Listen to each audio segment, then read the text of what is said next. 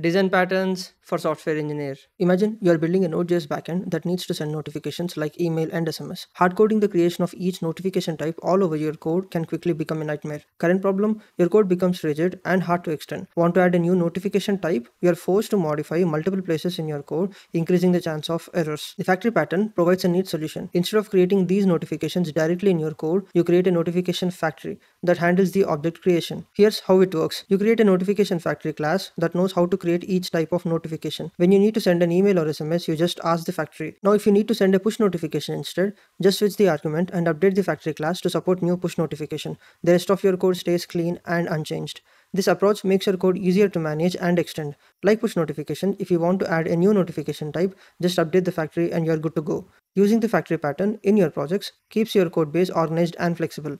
Want more content like this? Make sure you hit that like button and subscribe. Thank you so much for watching and I'll see you in the next one.